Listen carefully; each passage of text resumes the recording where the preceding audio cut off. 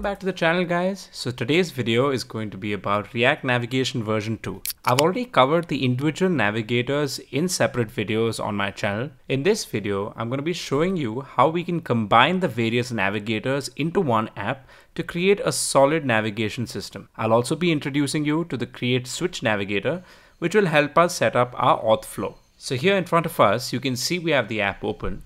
We have two buttons, one is the sign in screen and one is the sign up screen.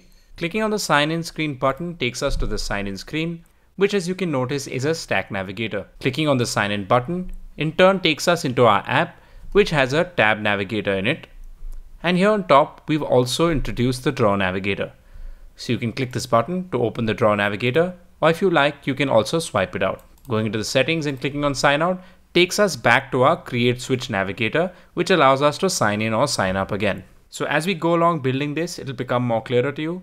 So without wasting any more time, let's begin. So here in front of me, I have an empty React Native project that I've opened up in Visual Studio Code. We're going to start by installing our only dependency that we need for this video, and that is React Navigation. So we're going to be running npm install React Navigation, and we'll go for version 2.0.1, which as of now is the latest version.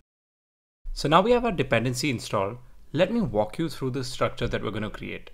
So at our root, we're going to have one navigator, which is the create switch navigator. The advantage of having this create switch navigator is that it only shows one screen at one time. If you remember, we used to use the stack navigator earlier, and after the user would log in, we would have to prevent the user from pressing the back button to go back to the login screen. Here, using the create switch navigator, there is no concept of the back button. You can navigate between screens, but you cannot go back to the previous screen. So in our Create Switch Navigator, we have three main screens.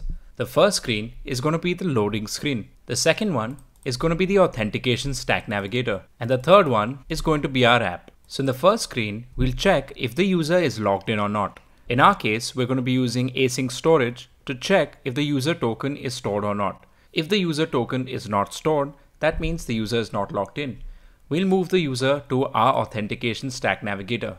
In that navigator, we'll have one welcome screen, which will allow the user to either sign in or sign up. Depending on what the user clicks, the user will be taken to either a sign in screen or a sign up screen. If the user is already logged in, then the user will be taken directly to our app. Our app will be a drawer navigator. And inside our drawer navigator, we have a stack navigator as well as a tab navigator. I'll show you how we combine these together when we build it. For now, we know that we're going to be using all of the navigators together.